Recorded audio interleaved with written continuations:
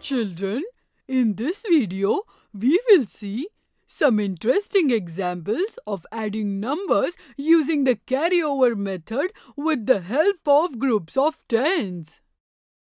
We had great fun in the zoo yesterday. And we learned a lot as well. Yes. Give me some more examples to practice. Look, here are two abacus. With the help of the abacus beads, try to identify the numbers and add them. In the first abacus, in the tens box, there are seven beads. This makes it seven tens, that is 70.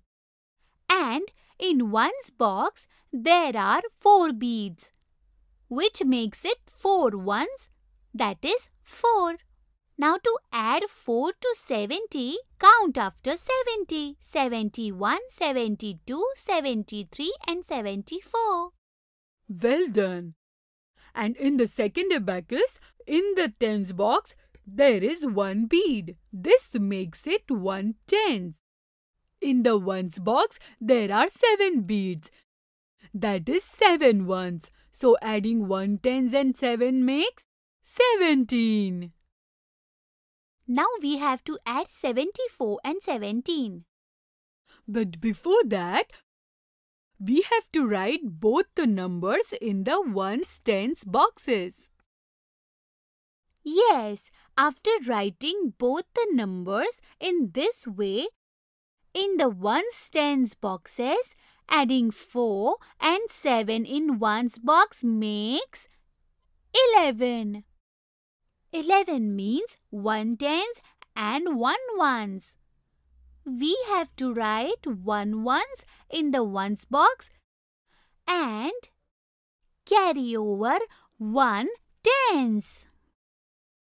Now we have to add the numbers in the tens box to the carryover number. Adding 7 to the carryover number, 1 will equal 8 and adding 1 to 8 will equal 9. So we have to write 9 in the tens box. 74 added to 17 will give us a total of 91. Yes. While adding, we have to first add the numbers in the ones box. And then we have to add the numbers in the tens box along with the carryover number. Yes, let's go now.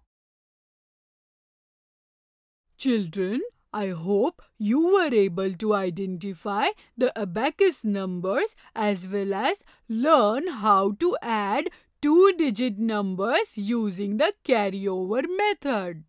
In the next video, we will learn some interesting facts about adding two-digit numbers with the carryover method.